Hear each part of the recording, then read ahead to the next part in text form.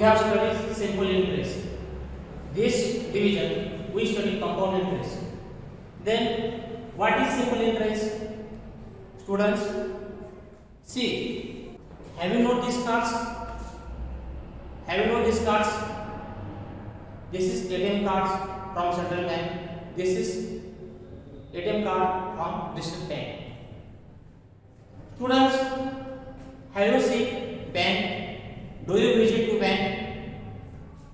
So, today we first learn what is interest.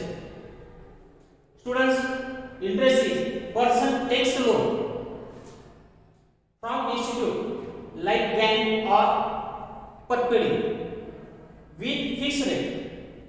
After stipulated time, he repays the loan with same more money. The additional We have seen the interest formula. P multiple N multiple R divided by 100. Then what is P? P for principal, N for normality, R for rate of interest. Then in this year we study compound. What is compound interest?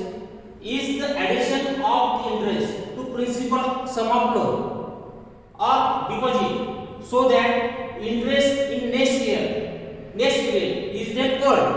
on principal sum plus previously accumulated interest. Then we study this from examples. Do you see? Darshan has borrowed 50,000 from bank with 4% rate of interest for 2 years. Darshan has paid 2000 as interest in first year. If we couldn't pay it then, the interest will be added to principal. That is principal plus interest. 50,000 is principal, 2,000 is interest. Sum of this is equal to 52,000. Now Darshan has to pay interest in second year with 52,000 as new principal. Then we calculate interest. When we calculate interest is called compound interest. Compound interest is calculated three different forms.